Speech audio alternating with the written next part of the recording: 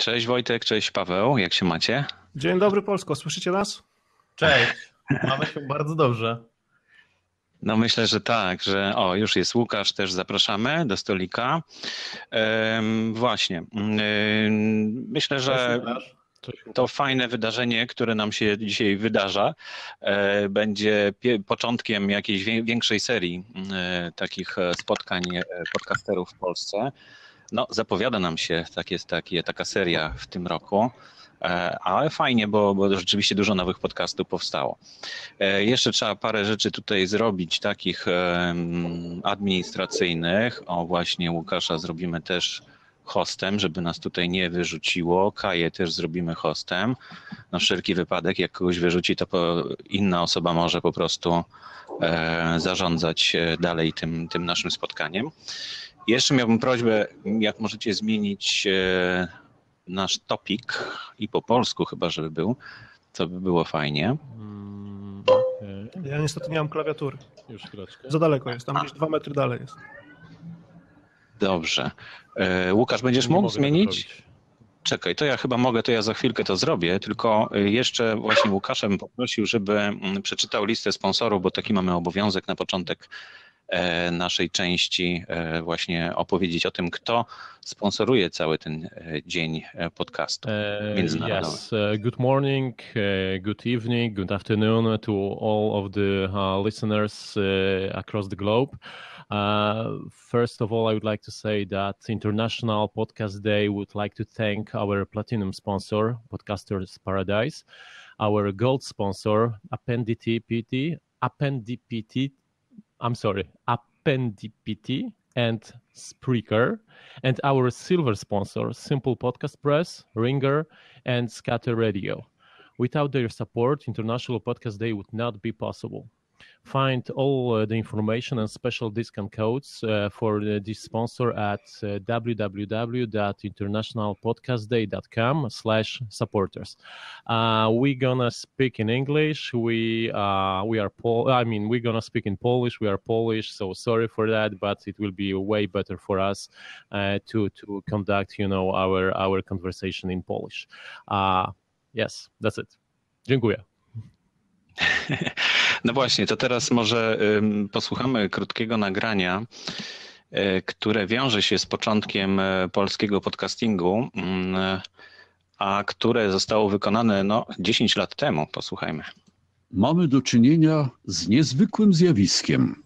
Oto radio, które od początku swojego istnienia znajdowało się pod nadzorem osób odpowiedzialnych za treści przekazywane na antenie, wymyka się spod kontroli wpadając w ręce każdego, kto chce się wypowiedzieć publicznie, niezależnie od tego, czy ma coś do powiedzenia, czy też nie. No właśnie. Mistrzostwo świata. Słuchajcie, historia jest bardzo fajna, bo, mm, bo poszedłem, znaczy napisałem w ogóle do Ksawerego, do pana Ksawerego mm, e-maila. Nie sądziłem, że odpowie, bo no, myślałem, że to jest bardzo zajęty człowiek i że raczej nie używa e-maila w tamtych czasach jeszcze. Ale okazało się, że odpisał, że zaprasza, jest w studiu na ulicy Bonifaterskiej i że jak mogę, jak mogę to mogę przyjść o, o dowolnej godzinie, bo on tam dużo nagrywa. No i poszedłem. Nie chciał żadnych pieniędzy, ale przyniosłem mu kawę w podzięce. Nagrał w dodatku trzy wersje tego, to była pierwsza wersja e, tego nagrania. No ale właśnie zastanówmy się, czy, czy rzeczywiście dzieje się rewolucja bo tutaj mówi się o rewolucji. To, ten cytat y, zresztą został wzięty z audycji mm, Adama Kerry, bo on coś podobnego na początku miał tylko po angielsku oczywiście, e, a, a to, to jest takie moje tłumaczenie mm, z pomocą kolegów i przyjaciół e, na polski. No i jak to rzeczywiście jest rewolucja? No ja jestem pewien, że w ogóle nie ma pytania, że, że jest rewolucja, że czujemy tą rewolucję przynajmniej w tym roku i zaczyna się naprawdę coś dziać w polskim podcastingu. Coś, na co ja czekałem dwa lata, a pewnie wy dłużej. No można powiedzieć, że, że w tym roku e, można, można by było rozpocząć taki polski podcasting 2.0. Takie hasło rzucę. Tak, ale ty mówisz, że w tym roku się zaczyna, a ta rewolucja, to znaczy ten tekst został nagrany 10 lat temu. Także trochę, trochę wtedy mieliśmy większe nadzieje. być może ty teraz masz takie nadzieje jak my wtedy, bo też e, w sumie jesteś młodziakiem, jeśli tak patrzeć, prawda? E, dwa lata do dziesięciu to jednak jest różnica. Ale już nie ruki. No tak, ale ja myślę, że, że mimo to e, mamy do czynienia rzeczywiście z rewolucją, tylko ponieważ e, no, rewolucjoniści najbardziej wierzą w rewolucję, to chcą, żeby się dokonała bardzo, bardzo, bardzo szybko. Natomiast e, ta rewolucja się dzieje, bo jeśli spojrzycie z perspektywy kilkudziesięciu lat, które będą po nas, no to pewnie te, te 10 lat i ten, ten początek bardzo szybko będzie mm, oceniany, że to bardzo szybko minęło.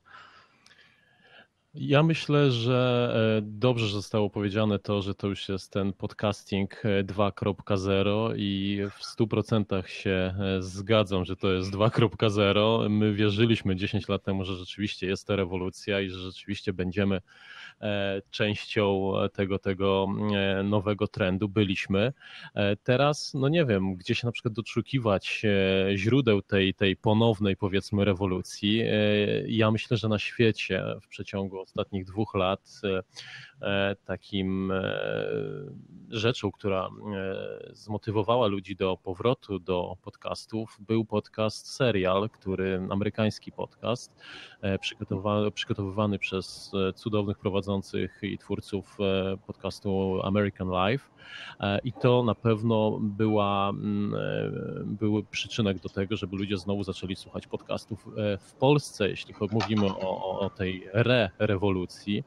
E, nie wiem, co jest przyczynem, przyczyn, e, przyczyną e, tego, tego, mm, co się dzieje. No to może właśnie chłopcy z dekompresora więcej są w stanie powiedzieć, ale ja jak najbardziej i dziewczyny, ja jak najbardziej się zgadzam, że, że jednak te 2.0 teraz widzimy.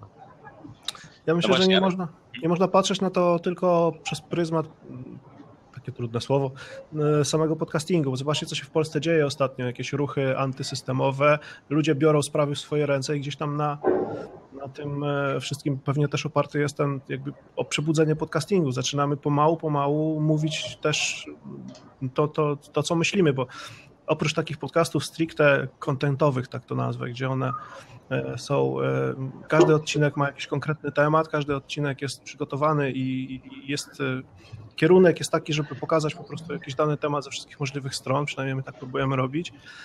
E, jest dużo takiego wolnego gadania po prostu w tym internetowym eterze teraz. I oprócz tego, oprócz tego takiego twardego przygotowywania są też wolne myśli, e, jakieś nowe idee, zaczyna się to dziać, a też myślę, że największą różnicą między tym, co wy mieliście 10 lat temu, a tym, co my mamy teraz i my, wy też macie teraz, my wszyscy, można tak powiedzieć, e, jest to, że pojawił się odbiorca na żywo po drugiej stronie. To, że dzisiaj jesteśmy na Blabie, e, to, że my nadajemy nasze dekompresory też na żywo i wiele ludzi tak robi i czujemy na bieżąco, że tam po drugiej stronie ktoś jest, to jest pierwsza, największa różnica i mając tą odpowiedź tam od razu taką na bieżąco i na żywo, zupełnie inaczej się też myśli o, konkret, o kolejnych odcinkach i o, i o planach na przyszłość. Myślę, że różnica y, nastąpiła też po stronie słuchaczy klientów, tak? Ludzie chcą mieć większą kontrolę nad tym, Y, o, o, czym słuchają, czego się dowiadują, podcasty im coś takiego dają, radio nie za specjalnie. Radio już tak naprawdę w większości przypadków osiąga tak, takie nasycenie komercjalizacji, że słuchasz przez chwilę muzyki, ktoś mówi coś głupiego, potem leci głośno reklama, ty dostajesz szału, ciszasz i szukasz czegoś innego, i szukasz czegoś innego. Znajdujesz podcast, który słuchasz, który lubisz, z ludźmi, którzy mają fajne głosy i coś ciekawego do powiedzenia i Jesteś w I domu, zostajesz. jesteś w domu, to jest to. Z drugiej strony, jeszcze, jeszcze tylko jedna rzecz, z drugiej strony mam wrażenie, że dla nas też trochę łatwiej niż dla Was 10 lat temu sprzęt jest dużo łatwiej dostępny, dużo prościej nagrać coś dobrej jakości, dużo wygodniej jest to wstawić do internetu, platform teraz jest no dużo, jest dużo prościej.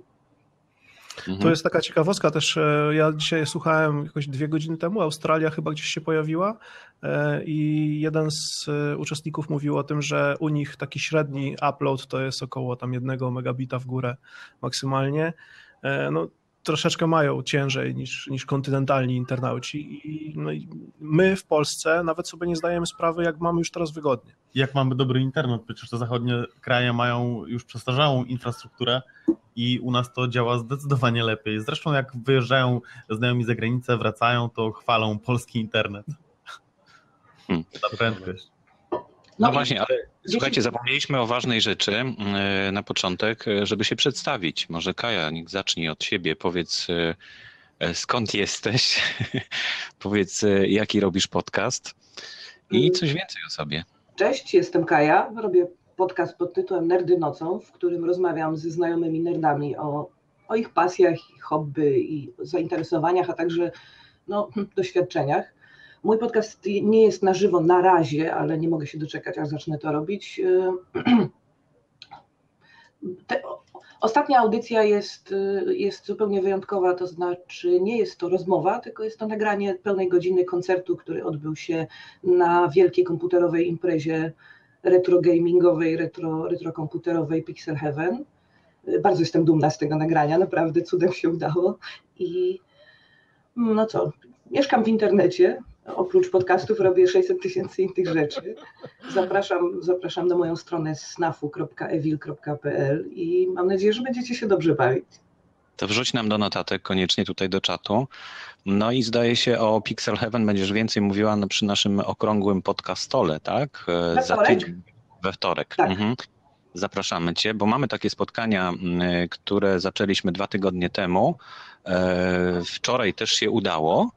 E, I mam nadzieję, że za tydzień się uda i tak już będzie co tydzień em, się ciągnąć, e, przynajmniej do konferencji, która jest 21 listopada 2015 roku. Bardzo dużo osób się zgłosiło. Zazdroszczą nam, e, bo słuchałem e, kilku tutaj wypowiedzi wcześniej e, z Australii, z Wielkiej Brytanii na przykład. e, Zazdroszczą nam ty, tylu podcasterów, którzy zgłosili się na tą konferencję. Organizowali coś podobnego chyba niedawno, bo we wrześniu, jakoś na początku września i no skoro zazdroszczą, to chyba mają powód. Dobrze, Łukasz, przedstaw się w takim razie, może ty teraz. A, Łukasz Witkowski, e, nagrywam od, nagrywałem od 2005 roku, od czerwca, jeden w ogóle chyba z pierwszych polskich podcastów, na pewno pierwszy w Stanach, polskie detroit.com. Do tej pory chyba 350 odcinków nagrałem.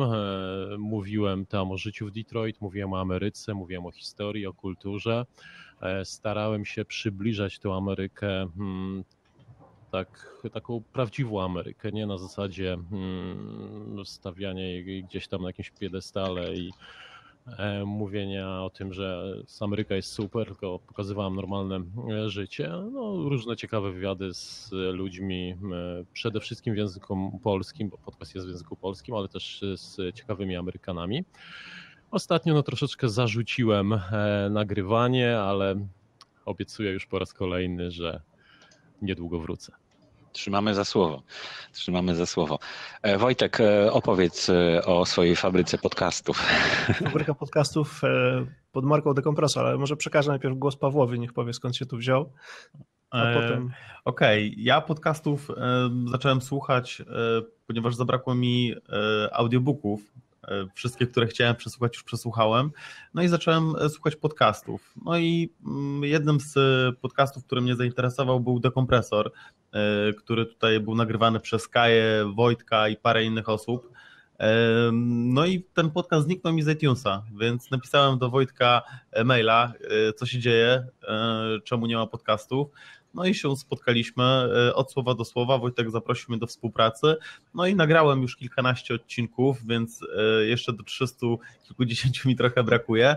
No ale bardzo mi się to podoba. E, No i opowiadam w podcaście, zapraszam ciekawych gości i opowiadamy o tym, czym zajmuję się zawodowo. Ja jestem brokerem technologii i pomagam wynalazcom wdrażać swoje pomysły w życie. No i podcast tego dotyczy. No i właśnie, i pomagasz nam wdrażać nasze pomysły w życie, bo e, pomagasz nam, właściwie organizujesz konferencję e, 21 listopada podcasterów. E, Bardzo Ci jesteśmy za to wdzięczni. Nikt tego tak nie potrafił do tej pory zrobić. Dokładnie. I myślę, że to Trzeba będzie. było tylko zapytać, wszyscy byli chętni. Myślę, że to będzie wielkie wydarzenie w naszym tutaj świecie podcasterskim. E, Ja No może i opowiem teraz, skąd się A wziął pomysł na, na konferencję, bo Aha. to jest też ciekawostka. W- My Dekompresor robimy już ponad dwa lata.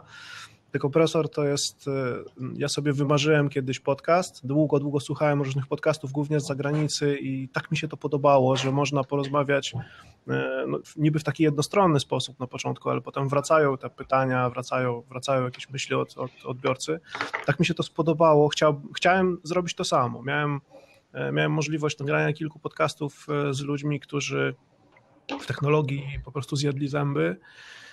I od tego zaczęliśmy. Zaczęliśmy podcast technologiczny Dekompresor, a potem apetyt rósł w miarę jedzenia i po, po dwóch latach mamy już podcast audio, wideo, mamy kilka kanałów, w tym, w tym zaprosiliśmy też Kaję, ona teraz robi trochę bardziej dla siebie ten podcast, ale ciągle jeszcze na dekompresorze. Mam nadzieję, że nas kiedyś też zaprosi do Nerdów Nocą, bo, bo, bo fajnie naprawdę, fajnie naprawdę to, to działa. Mój drogi, każdy, każda stacja podcastowa potrzebuje swojego strasznego dziecka i ja jestem twoim.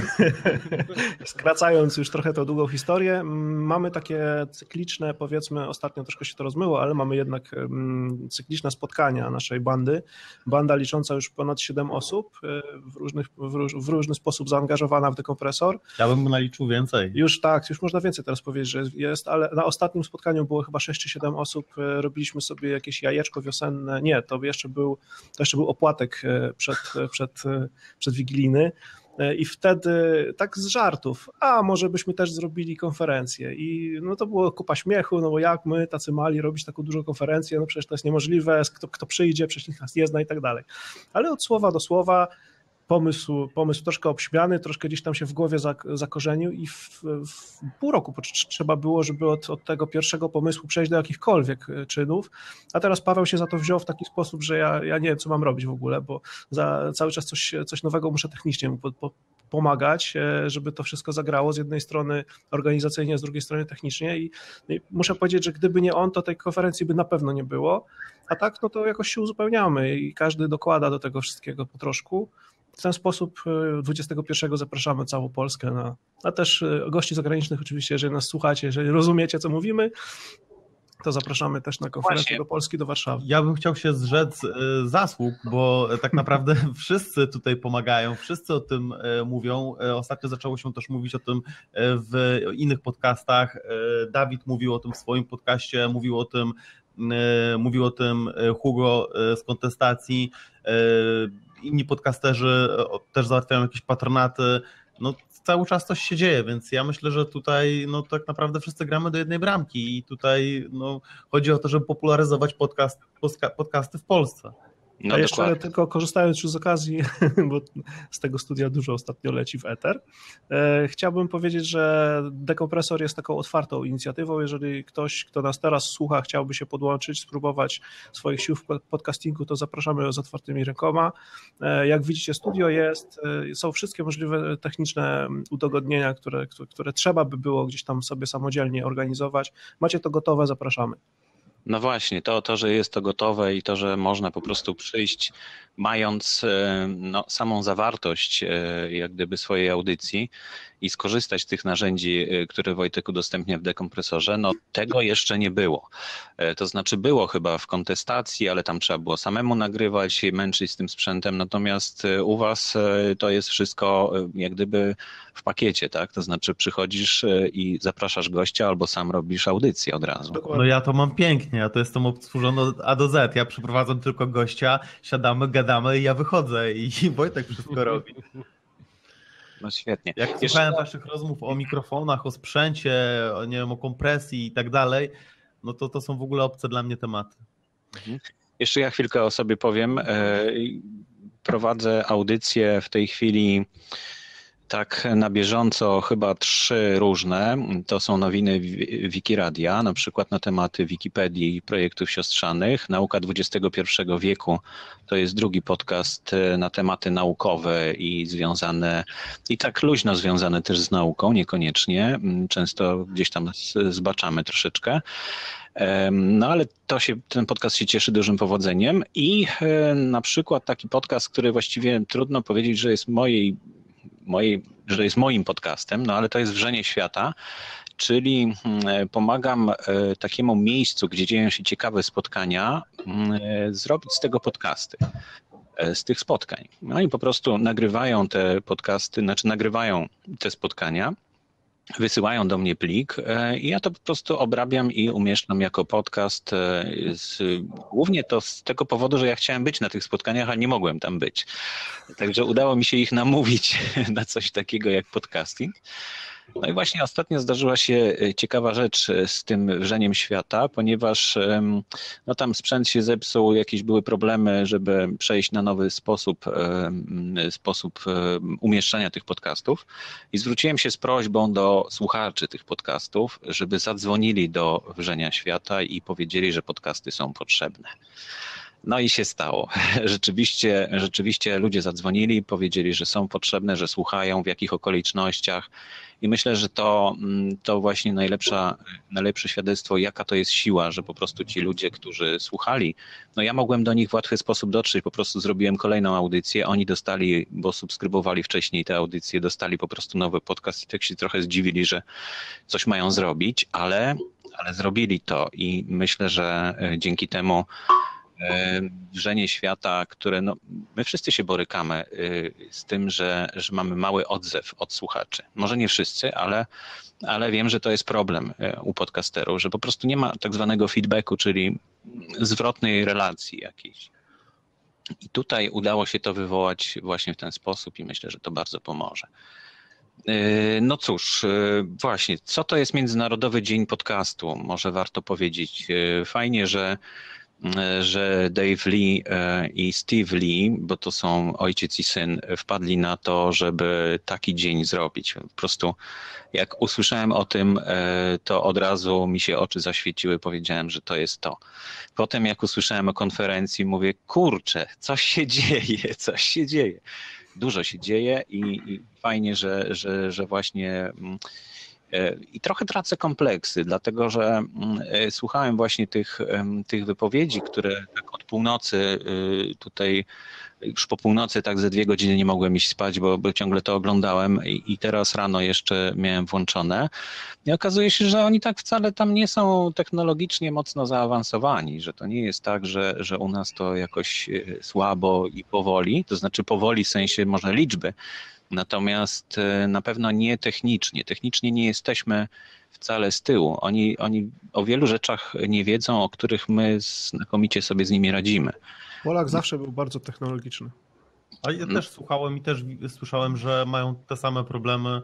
e, Jakby nie odstajemy. Nie Ja odstajemy. myślę, że łatwo się zapatrzeć na kilka takich czołowych e, stacji, które gdzieś tam bardzo mocno komercyjnie działają, szczególnie w Stanach i tam ten i merytorycznie najczęściej jest wszystko w porządku i technicznie nie ma się naprawdę do czego przyczepić i jak się człowiek tak napatrzy, napatrzy, to a, a nie szuka czegoś innego, to można takie wrażenie odnieść, że jesteśmy 100 lat za murzynami, ale tak absolutnie nie jest. No właśnie, więc fajnie posłuchać naprawdę i popatrzeć na tych ludzi, o czym oni rozmawiają. Na przykład była przed, przed chwilą chyba, czy może dwie godziny temu, e, rozmowa na temat tego, e, że na przykład skąd brać wolną muzykę, prawda? I tam też musiałem podpowiedzieć ludziom, że, że oni chcieli brać z YouTube'a, bo tam jest na wolnych licencjach muzyka. No, ale ja się wczytałem dokładnie w ten regulamin i ta muzyka jest na wolnych licencjach, ale tylko do użytku na YouTubie. To znaczy, można ją sobie użyć do własnego filmu, ale pod warunkiem, że ten film nie będzie rozpowszechniany nigdzie indziej poza YouTubem. No więc e, widać, że też nie za bardzo wiedzą, gdzie, co szukać, jak. E, W dodatku weszło kilka w tej chwili takich portali, które robią za ciebie wszystko. To znaczy, y, umieść u nas swój podcast, a my już wiemy, co z nim zrobić. Potem okazuje się, że na przykład RSS-a to nie ma z tego, z tego portalu.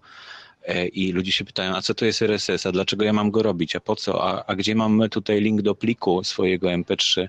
Pojawiają się takie techniczne problemy, ale z drugiej strony to jest rzeczywiście też ułatwienie, bo gdzieś tutaj jeszcze pomiędzy tą technologią, a tym, tym takim zwykłym człowiekiem, który korzysta z, z telefonu, jeszcze jest jakiś, jakaś, no nie przepaść, ale jakaś odległość, której, której ci ludzie nie mogą pokonać, prawda? Tak myślę, że to e, z jednej strony dobrze, a z drugiej strony troszeczkę zamyka się ten, ten e, taki, taki portal na, na, na jakieś zewnętrzne mm, wyjście takiego podcastu. Jeszcze trochę na poparcie tego, że wcale nie jesteśmy gorsi, a może nawet w niektórych miejscach e, wychodzimy na prowadzenie w tym podcastowym świecie.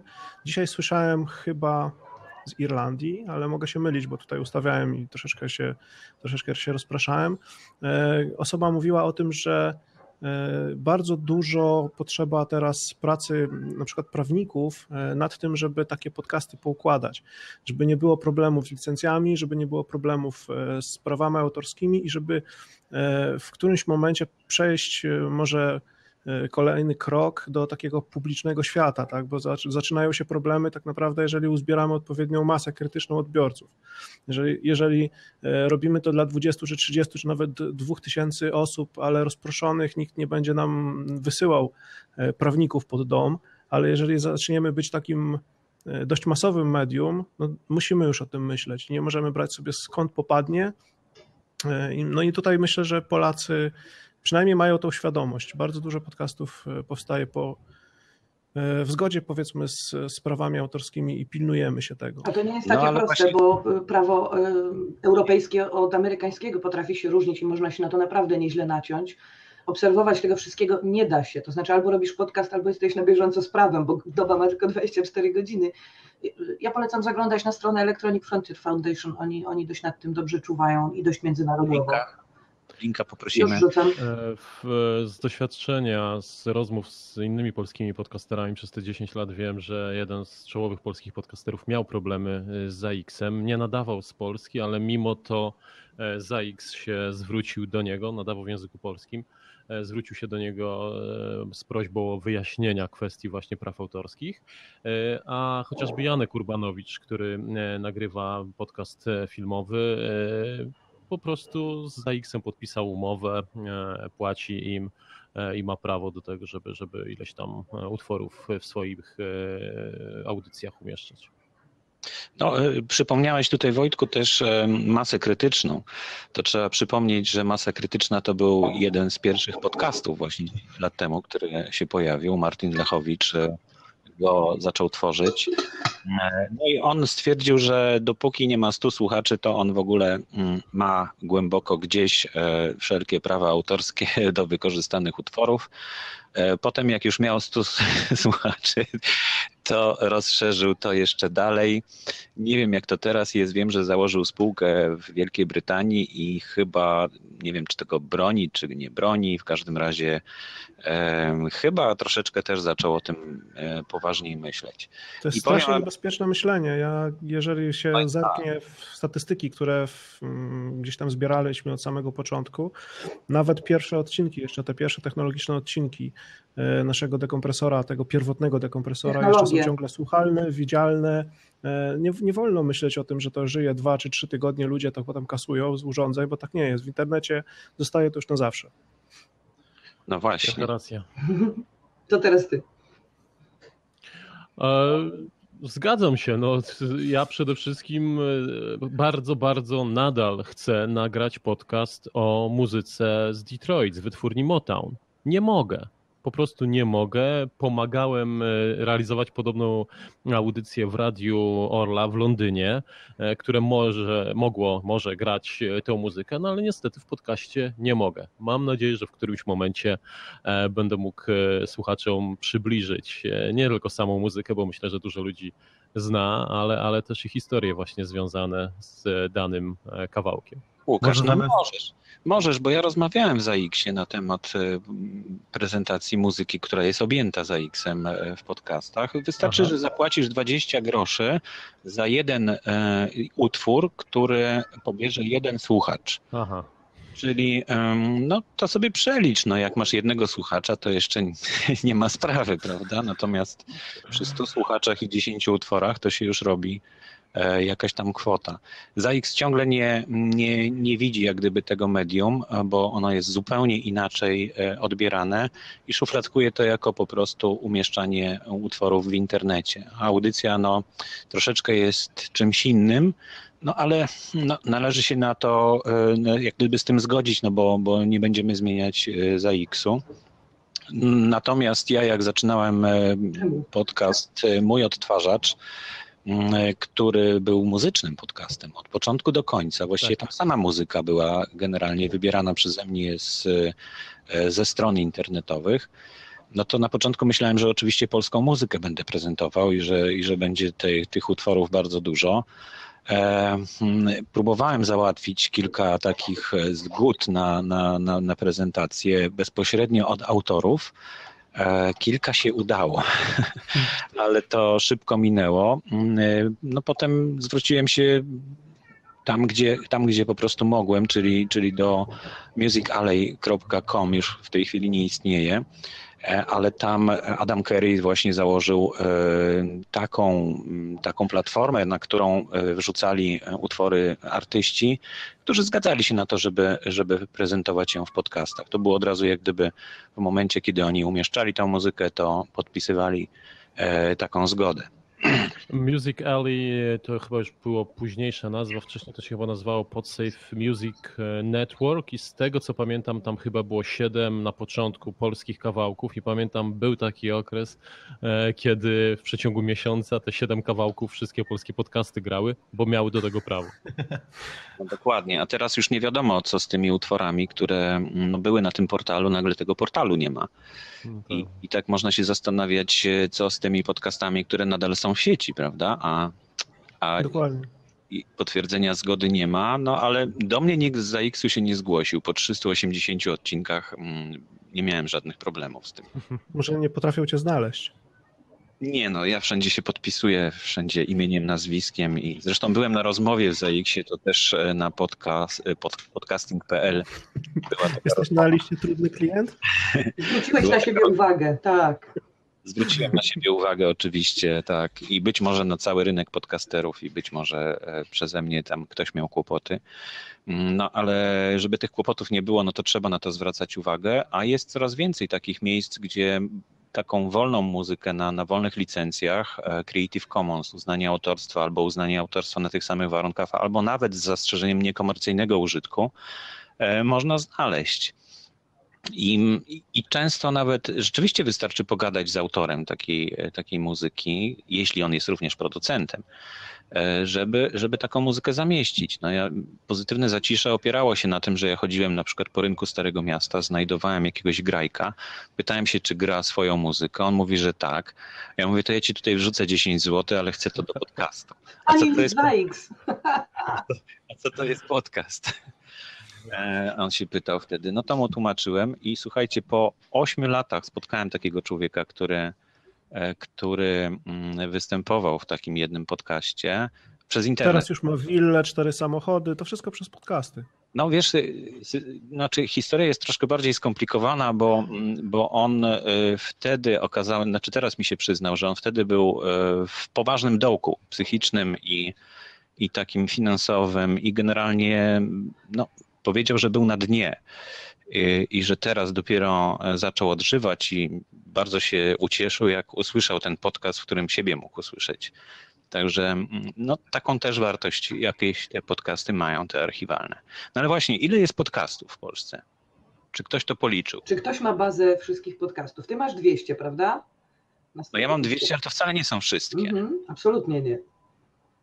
Zanim zaczniemy liczyć, to odpowiedzmy sobie na pytanie, co to jest podcast, bo to jest bardzo różna definicja Tak. i są różne zmienia. wytwory audio, które nazywają się podcastami.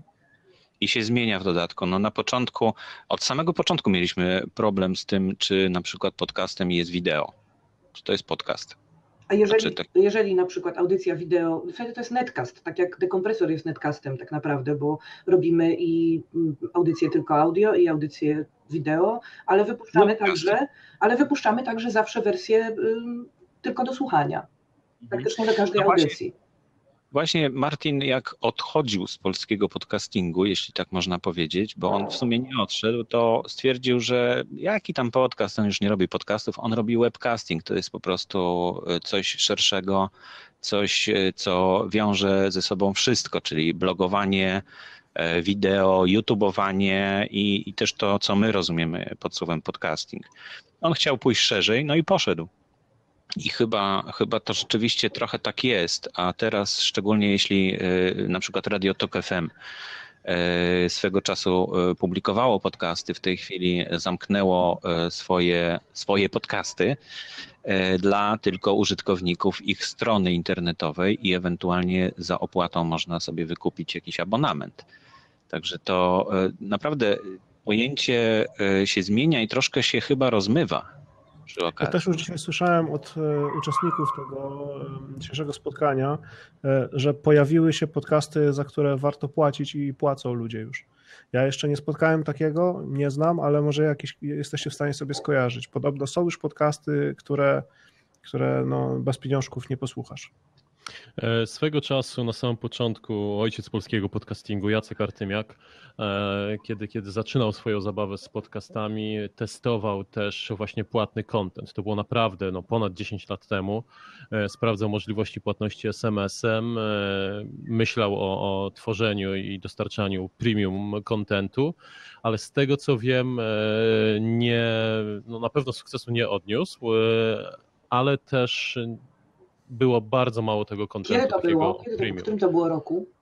2005 e, luty, marzec, kwiecień. Wtedy było też dużo mniej platform takiej płatności przez internet wygodnej.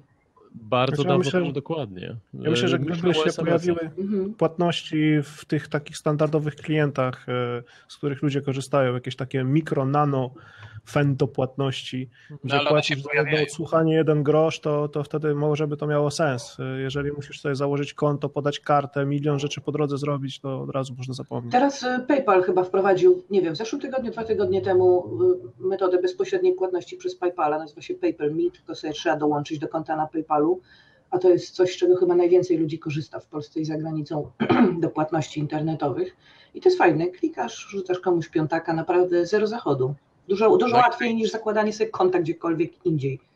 Nasza, nasz polski odpowiednik, czyli PayU, chyba bardzo podąża śladami e, PayPala e, i myślę, że też coś podobnego zaproponuje, ale widać, że to właśnie się zbliża, prawda? Z jednej strony chęć e, jakiejś zapłacenia nawet małej sumy, właśnie złotówki, 50 groszy, 2 groszy nawet.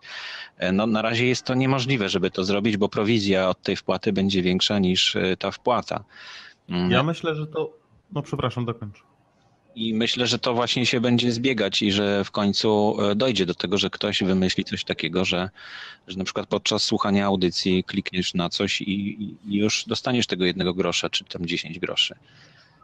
Bo to czasem wystarczy.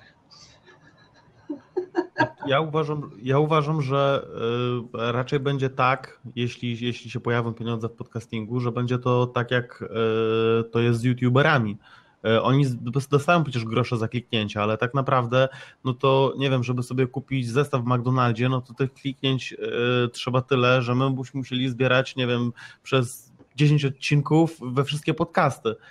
Więc, więc oni zarabiają na programach partnerskich i zagraniczne podcasty też mówią w swoich audycjach, kto jest sponsorem audycji, albo opowiadają o produkcie, albo go testują i tam są pieniądze, a nie za kliknięcie, za odsłuchanie. E, jeśli mogę powiedzieć o, o, o, pieniądzach, które ja zarabiałem swego czasu e, na moim podcaście. E, oczywiście miałem banery na stronie internetowej, które bardzo małe pieniądze mi przynosiły. Drugą rzeczą, na której troszkę rzeczywiście zarabiałem, to była sprzedaż aplikacji mm, do odsłuchiwania podcastów. Wiem, co chcecie powiedzieć, że tak naprawdę no, do czego jest aplikacja. Można ściągnąć, można przez iTunes, można przez jakikolwiek inny program do odsłuchu darmowych podcastów. Przepraszam, to był jakiś ale... program afiliacyjny? E, aplikacja została stworzona przez Lipsyn, przez mojego e, e, prowajdera, mój, mój, moje serwery tam, gdzie trzymam po prostu podcasty. I oni powiedzieli, ok, masz taki plan, tyle miesięcznie płacisz za darmo, zrobimy ci aplikację, 50 e, na 50, 50 dla nas, 50 dla ciebie. Zgodziłem się i rzeczywiście jakieś tam pieniądze do tej pory e, zarabiam, mimo tego, że no już z nagrywaniem jest troszkę gorzej, ale największe pieniądze, które, które zarabiałem, to były po prostu bezpośrednie umowy z osobami czy z firmami, które płaciły mi za y, mówienie o reklamowaniu po prostu ich produktów. Było to między innymi Bank Polski w e, metropolii Detroit, e, ale też przez krótki okres e, współpracowałem z Audioteką i te pieniądze no, rzeczywiście były no może nie bardzo, bardzo znaczące, ale, ale z bankiem przez ponad dwa lata współpracowałem i rzeczywiście mogłem pochwalić, nadal chwalę tę współpracę. Audioteka będzie na konferencji.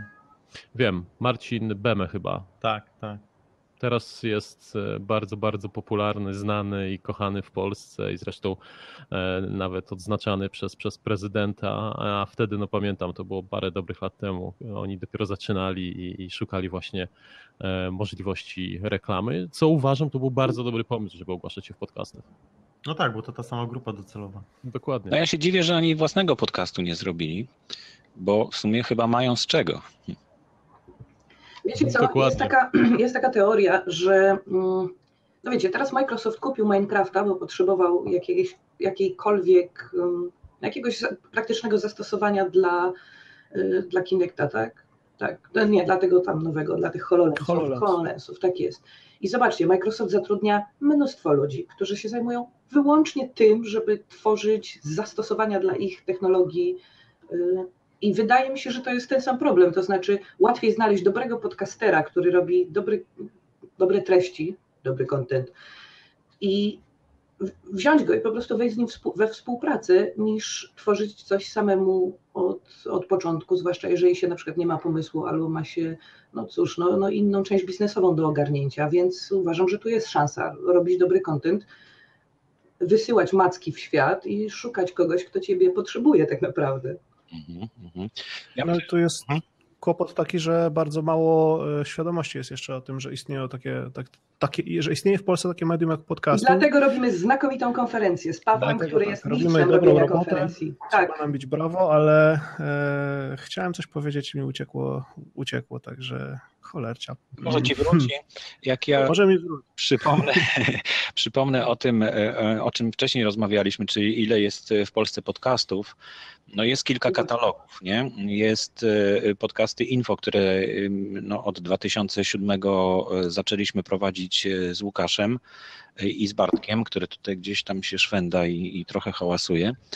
E, I, I potem powstały też Podstacja, bardzo ciekawy katalog e, amatorskich podcastów, bo oni e, zawęzili krąg swoich poszukiwań i zainteresowań do podcastów stricte amatorskich, czyli nieprodukowanych przez stacje radiowe na przykład. Do takich audioblogów. E, No nie tylko, Mhm. nie tylko, Czy my też się na to łapiemy, jako nie, nie części stacji radiowych, też się na to łapiemy? Na przykład Raczej tak, raczej No. tak. Ym, Z tym, że tam się troszkę zmienia ta polityka, to znaczy było inaczej, teraz jest inaczej, może za rok będzie znowu inaczej. No, y, mam nadzieję, że się uda nam spotkać na, na, na konferencji, bo już zapraszałem Rafała na tą konferencję. On mówi, że chyba nie będzie, y, no ale, ale może Filip będzie, który tam z nim to chyba wspólnie y, prowadzi. Więc może uda się właśnie podczas tej konferencji stworzyć coś, co pomoże nam wszystkim jakby mm, ogarnąć ten polski rynek podcastingu, bo myślę, że to, to jest ważne, żebyśmy y, jednym, w jednym miejscu mieli wszystko, e, a nie tak rozproszone, że tutaj na podcasty info trochę, trochę na podstacji, trochę tam jeszcze podcastuj.pl, e, jeszcze chyba coś Każdy sobie własną małą sieć robi z czterech podcastów złożoną i próbuje podbijać świat. Słuchajcie, bo ja chciałbym zmazać e, to, co przed chwilą e, wrażenie, że jestem starym sklerotykiem, wróciło mi. Chciałbym powiedzieć o jednej ważnej rzeczy, o tej, e, o wartości, o wartości odbiorcy w podcaście. Przede wszystkim trzeba go szanować i na pewno nie wyobrażam sobie polskich podcastów albo jakichkolwiek innych podcastów i pewnie nie jestem sam, bo, bo po, poza granicami podobnie to wszystko wygląda. Nie wyobrażam sobie podcastów, które będą e, reklamowały po prostu, nie wiem, proszek Dosia, odgrywając co 10 minut e, reklamę audio proszku Dosia. Ale pierwsze nasze podcasty, które kompletnie nie miały nic wspólnego z żadną komercją i to nie było w ogóle zamierzone, e, dały mi do myślenia i to bardzo mocno dały mi do myślenia, bo zaczęliśmy polecać e, oprogramowanie, a to do, do, do takie menadżery haseł, do zarządzania hasłami w internecie i, e, i ich kontami na różnych e, serwisach. Wszędzie gdzieś teraz w internecie trzeba mieć jakieś hasło i trzeba mieć jakieś, jakąś tożsamość. Są programy, które sobie z tym świetnie radzą. Poleciliśmy kilka. Poleciliśmy też kilka jakichś rozwiązań backupowych. Wiadomo, że backup jest wtedy potrzebny, kiedy, kiedy akurat go nie mamy. I okazało się, że po drugiej stronie to spowodowało wielką, wielką, wielką akcję testowania. Więc w porównaniu z taką standardową reklamą, z takim standardowym jakimś partnerstwem, gdzieś nawet nie wiem, może, może ja teraz przesadzę, ale myślę, że na YouTubie to wcale nie działa dobrze i te partnerstwa, które E, youtuberzy zawierają, pewnie jakiegoś szczególnego odzewu nie powodują. U nas to spowodowało zasypanie po prostu skrzynki.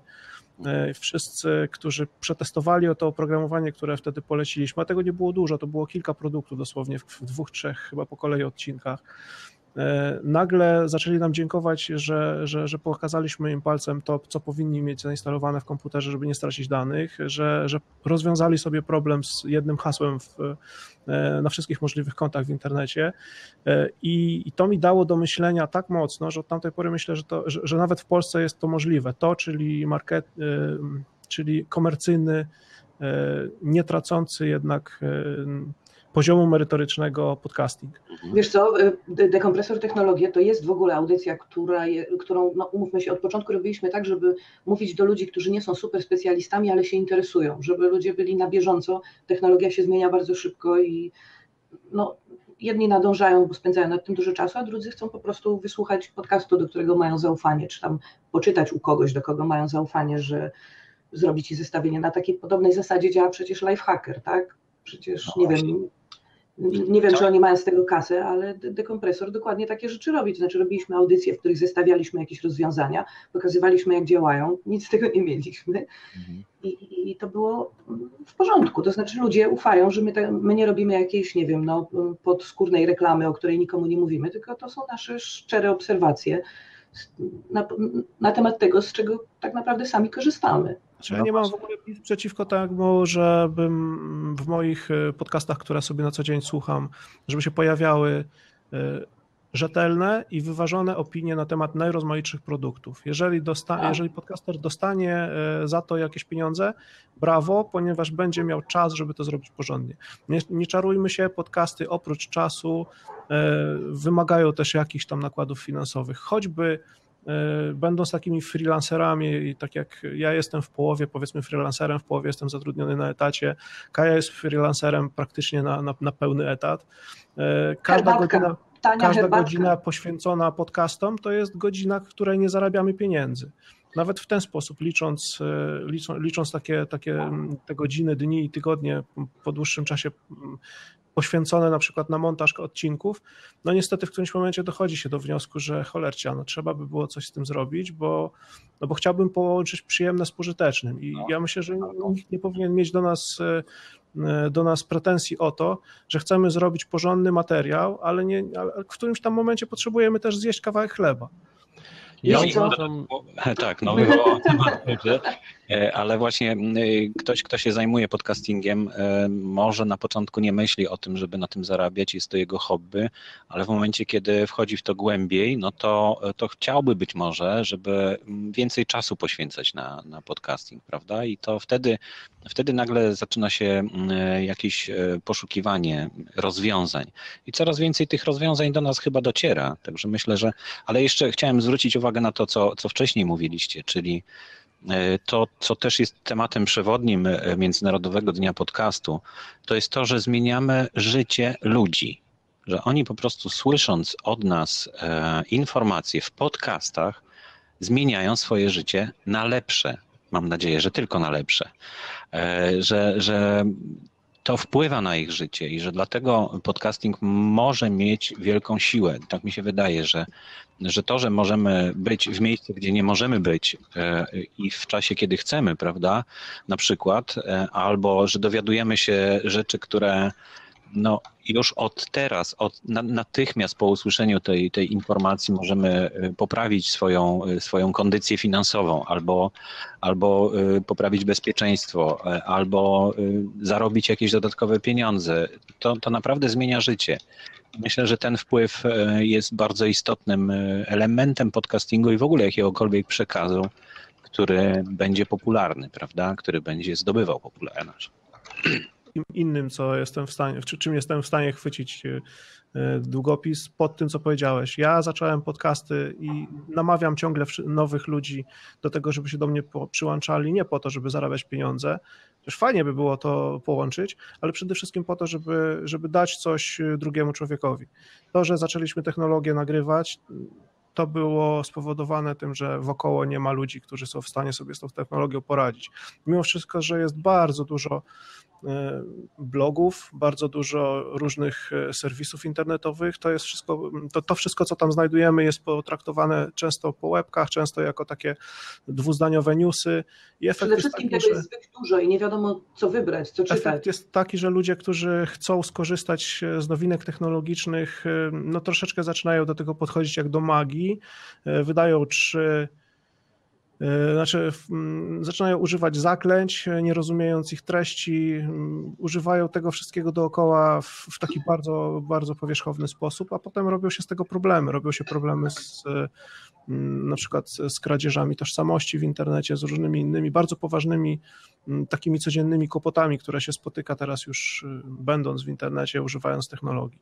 Wiecie co, chciałabym, chciałabym, bo chciałabym zwrócić uwagę, że temat finansowania podcastów jest tak duży i tak tak naprawdę widać, że budzi emocje, że o tym powinniśmy najwięcej porozmawiać na konferencji, a dzisiaj, skoro reprezentujemy y, Podcast Day, Polskę na Podcast Day, to może wróćmy jeszcze przez chwilę do tego, ile nas jest, bo my sobie chyba, my, my podcasterzy polscy, w ogóle sobie nie zdajemy sprawy, jaką jesteśmy gigantyczną grupą ludzi. I tak, nie wiem, nie wiem jak się policzyć. Mam nadzieję, że ta konferencja, ten podcaster będzie dobrym krokiem w tym kierunku, widzę na przykład, że mm, niektóre podcasty zaczynają sobie zdawać sprawę, że potrzebują się zbierać razem. Tak samo jak Dekompresor w tej chwili ma 6 czy 7 w tej chwili kanałów tematycznych. Y, wiem, że Pat I zapraszamy jest, następnych chętnych. Zapraszamy następnych, jest super, naprawdę. Y, duża wolność y, produkcji. Jakby to wydało się czegoś zabronić. Spróbujcie, ale da się ze mną Ale... współpracować, jestem dobrym człowiekiem. W każdym razie widzę na przykład, Pad TV jest częścią Retro Rocket Network. To nie jest tak, że Pad TV nie ma, bo ma, ma gigantyczną bazę swoich fanów. Fanpage, tak naprawdę społeczność Pad TV na fejsie jest gigantyczna i ona żyje, tam codziennie się odbywa jakaś dyskusja, więc oni się nie jednoczą dlatego, żeby zdobyć fanów, tylko żeby być większą siłą tak naprawdę rynkową. Ile was tam jest, Dawid? Ile jest tam was, was jest w tym retro? Bo z tego co widzę, sześć? Sześć, sześć, sześć podcastów się zebrało. Ja w ogóle, przepraszam bardzo, ja mówię, no. że w ogóle przez, przez, przez chwilę się wyłączymy. Chciałbym wpuścić Dawida, żeby on też coś powiedział. Bo... Nie, może, nie może jest w pracy, już, już a, podałam. A, no tak, pisał, jest na blogu, znaczy tutaj na, na czacie naszym e, i pisze na przykład, że z blogiem nie pójdziesz kosić trawnika. To jest, e, to jest tak. jedno z takich fajnych haseł e, dla podcastingu E, tak samo e, z blogiem nie da się prowadzić samochodu. E, czytając gazety nie da się prowadzić samochodu, a podcastu można słuchać, więc mamy sporo takiej przewagi i, i miejsca, gdzie, gdzie możemy sobie znaleźć słuchacza. No i myślę, że też podczas konferencji powinniśmy się bardzo poważnie, albo wcześniej jeszcze nawet, zastanowić, jak promować polski podcasting, bo to, że zrobiliśmy ulotki 10 y, tysięcy i że je rozdamy jeszcze do konferencji, no to jest jakiś, jakiś jeden z pomysłów. Y, to, że y, to, że będziemy mówić w podcastach o tym i to, że tutaj się dzisiaj spotykamy. Mamy taką specjalną ulotkę. Tak, przezroczysta. Przezroczysta, bardzo ładna. Z jednej strony przezroczysta, z drugiej ogromne pieniądze. No właśnie, chciałbym zachęcić, bo to ogromne pieniądze. 56 zł, 5 tysięcy takich ulotek, także to nie jest przezroczyste.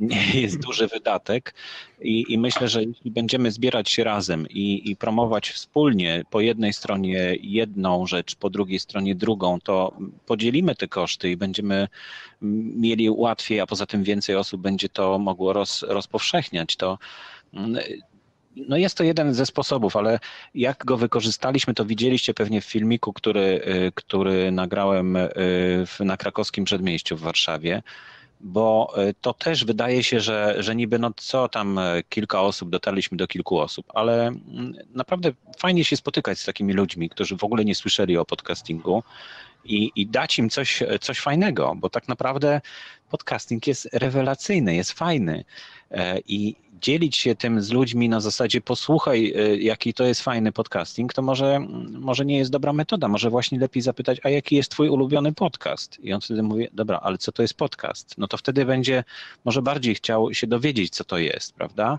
A Ani- Cię interesuje? Możemy Ci polecić któreś, Tak. wiemy, które są dobre, Zobacz znamy sobie, się. zobacz sobie, mamy katalog i tam możesz znaleźć coś e, Tak. interesującego ciebie, ale możesz też sam zacząć e, nadawać, jeśli masz coś ciekawego do powiedzenia e, i, i, i potrzebujesz ludzi, którzy chcą tego słuchać. Ja Jeszcze właśnie chciałbym Łukasz strasznie chce coś powiedzieć. no właśnie, bo musimy kończyć, już mamy 4 minuty do końca, także będziemy się zbierać. Łukasz, proszę bardzo, powiedz. Właśnie chciałem powiedzieć, że mamy 4 minuty do końca i może powiedzmy jeszcze o konferencji, co jest naprawdę bardzo ważne dla nas wszystkich. I powoli się już żegnajmy. No dokładnie, więc e, zapraszamy na konferencję, która odbędzie się 21 listopada 2015 roku w Warszawie. Mm, Jeszcze nie wiadomo, gdzie e, dokładnie będzie ta konferencja, bo nie za bardzo jeszcze wiemy, ile osób e, na nią przyjdzie. To jeszcze jest dosyć odległy termin, ale na pewno będzie w jakimś fajnym miejscu. Jakieś typy już mamy. Mamy zna- dwa typy i czekamy w blokach startowych. No Ile ja słyszałem- już się zarejestrowało na, kon- na konferencję? Słucham? Liczyliście? Ile podcastów się zarejestrowało na konferencję? O, teraz nie mogę otworzyć, ale y, myślę, że ponad 20. No, podcasterów. Co, co najmniej 30 pamiętam było ostatnio. Takich, którzy chcą jednocześnie uczestniczyć. e, O, no i nie kliknąłem. Takich, którzy chcą uczestniczyć jednocześnie w panelach dyskusyjnych, bo mm, też musimy rozdzielić to, czy podcast się pojawi po prostu jako zgrana ekipa, która, która, która gdzieś tam będzie e, w, na widowni, czy będziemy też. e, Czy, czy, czy, czy ci ludzie pojawią się razem z nami na scenie? Tak czy inaczej będzie to znakomita okazja, To żeby na zobaczyć scenie, swoich na scenie będzie już ponad na 30 oczy. podcastów. Na scenie. Właśnie. I, I na pewno e, formuła jeszcze będzie e, dopracowywana i no, samo spotkanie już jest bardzo atrakcyjne, ale to, co może się wydarzyć oprócz tego, że się spotkamy i pogadamy, no to myślę, że też jest bardzo atrakcyjne. I chciałem Was wszystkich e, dzisiaj, którzy tutaj jesteście i na czacie, i, i Was tutaj w okienkach, zaprosić na spotkanie pojutrze, czyli 3 października w sobotę o 12 w samo południe, żeby pogadać w realu, czyli spotkać się przy kawie na przykład gdzieś w Warszawie. Real za to nie płaci.